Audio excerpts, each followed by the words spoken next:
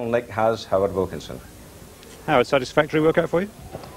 Under the circumstances, yeah, yeah. Um, you know, we, we came through without any injuries. Fortunately, got, got, got a victory as well. And uh, to say it was our, our first real competitive game, uh, you know, I was quite satisfied. What about the system you played? What did you learn from it?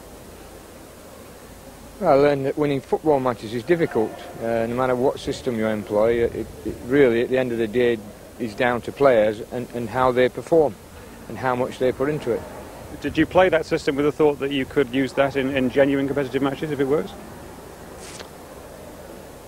I don't know. I play. If you can't convince them, confuse them. So it was a different system for us, and uh, I thought playing against Stuttgart might be a, a nice time to.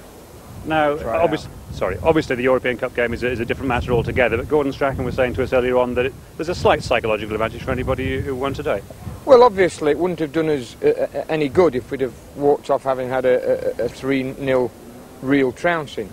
Uh, so the fact that we won, and, and, and we won uh, convincingly in a sense, we deserve to win, uh, is good for us. It, it, it's a little hurdle that we won't have to overcome. It, it, it's not the big hurdle. The big hurdle's still to come in Stuttgart and then back here. But uh, it, it all helps. And did you learn bits and pieces you didn't know before about Stuttgart?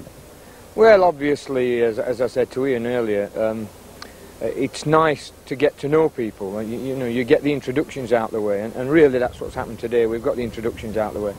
And Sampdoria tomorrow now, they look very impressive this afternoon against Nottingham Forest. Well, it'll be it'll be another good test to say it's a pre-season game. We're playing the European Cup uh, losing finalists, who who did well, I thought, against Forest this afternoon. So it'll be, you know, it, we'll have had two very very useful games. And very useful for, for your players to play against a, a different style of foreign team. Well, it's useful for them, it's useful for me, because, uh, you know, it, it's been a long time now since any of us really were involved at, at club level in, in, uh, in, in European football. And the ITV audience will tune in tomorrow to see this game live. They'll see a reasonably competitive game, won't they? Because nobody's going to want to lose that either. Oh, I would think they'll see a very competitive game. I think, I think it took the players a while today, as it does at the start of the season, to get, to get the grip, to grips with things. But once they got the, the, the football legs going, the game's developed, you know, the sort of tempo that we're accustomed to. Right, thanks. I think tomorrow will be no different. Thanks very much indeed. Thank you. Ian.